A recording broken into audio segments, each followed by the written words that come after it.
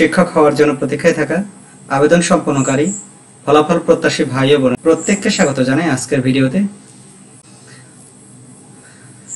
রিটকারীদের মামলার কারণে সম্ভাব্য ফলাফল কি হতে পারে? সে বিষয়ে আগের ভিডিওটি যারা দেখেছেন, তাদের এই বিষয়টি হয়তো ধারণাটি আরও বেশি পরিষ্কার হবে। তবে বিভিন্ন সামাজিক যোগাযোগ মাধ্যম সহ অনলাইন পত্রিকায় যে খবরগুলো বেরিয়েছে আজকের এই আবেদন সম্পর্কিত সেখানে প্রধান যে বক্তব্যটি এসেছে তা আমার কাছে সবচেয়ে গুরুত্বপূর্ণ দুটি লাইন হলো, রায় বাস্তবায়ন না করায় রিটকারী আইনজীবী রায় বাস্তবায়নের জন্য আদালতের আদেশের প্রার্থনা করেছেন। অপরদিকে এনটিআরসিএ রায় বাস্তবায়ন না করায় জবাবের জন্য সময় প্রার্থনা করেছে। বিশ মে শুনানিতে আদালত পরবর্তী সিদ্ধান্ত দিবে। তো এই যে যে দুটি বিষয় এখানে বিশ তারিখে যে সময় প্রার্থনা করা হয়েছে, বিশ তারিখ পর্যন্ত, অর্থাৎ বিশ তারিখে পরবর্তী যে দিন ধার্য করা হয়েছে, সেদিন আমার বিবেচনায় এনটিআরসিএ এখানে আরও একটি বিষয়ে গুরুত্বপূর্ণ, সেটি হলো যে এনটিআরসিএ দ্বিতীয় নিয়োগে একশো ছেষট্টি জন রিটকারীকে ইনডাইরেক্টলি নিয়োগ দিয়েছে। এই কথাটি কিন্তু খুব গুরুত্বপূর্ণ আমার কাছে মনে হয়েছে। অর্থাৎ আমি আগের যে ভিডিওটি সেই ভিডিওতে, ভিডিওটিতে বলেছিলাম যে সম্ভাব্য যে বিকল্পগুলো রয়েছে তার মধ্যে সবার জন্য সমানভাবে রেজাল্ট দেওয়া এবং যারা এই রিটকারীদের মধ্যে যারা নিয়োগ থেকে বঞ্চিত হবে তাদেরকে পরবর্তীতে বিকল্প কোনো ব্যবস্থায় নিয়োগের ব্যবস্থা করা। অর্থাৎ এই যে যে একটি বিকল্প সমাধান, সেটির দিকে আমার মনে হচ্ছে যে এনটিআরসি সেই বিকল্প পথটি বেছে নিতে পারে।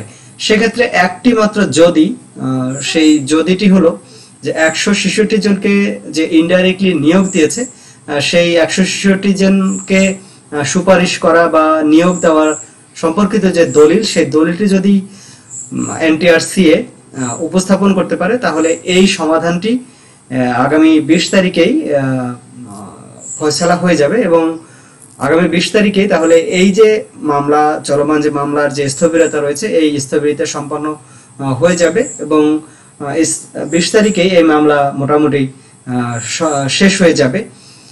তো এই প্রক্রিয়াটির মাধ্যমে সাধারণ যারা আবেদনকারী, তাদের ভাগ্য খুলে যাওয়ার সম্ভাবনা মোটামুটি ধরা যায় যে আশি থেকে নব্বই ভাগ। বর্তমান যে পরিস্থিতি, তাতে মনে হচ্ছে যে বিশ তারিখে একটা চূড়ান্ত ফলাফলের দিকে এগোচ্ছে।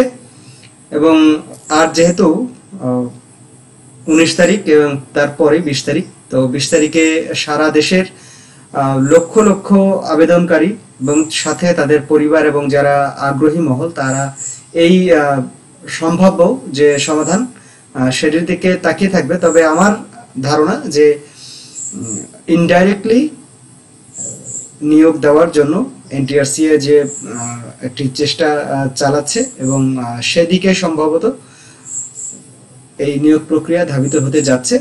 কারণ দ্বিতীয় গণবিজ্ঞপ্তিতে যদি একশো ছেষট্টি জনের যে ইনডাইরেক্ট নিয়োগ হয়েছে এ সম্পর্কিত তথ্য, দলিল হাজির করার উপরে এই মামলার পরবর্তী পর্যায়ে এবং সাধারণ আবেদনকারীদের ভাগ্য অনেকাংশে ঝুলে আছে বলে আমার মনে হয়।